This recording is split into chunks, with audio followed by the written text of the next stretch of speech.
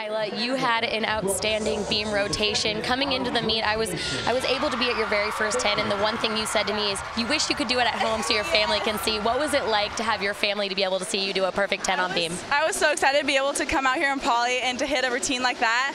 Right before my dismount, I knew I was like, okay, this is gonna, this is it. This is the 10. All I have to do is the stick. So once I got it, I was just so excited, and just to have the judges like solidify that that was a 10 routine it was so awesome. Do you put more pressure on yourself knowing that you're capable of getting 10s now? Yeah, me and Kaylin were talking about that. We're like nine eights. Like, what are nine eights? We're like, just go out there and hit the best routine because we know what we're capable of.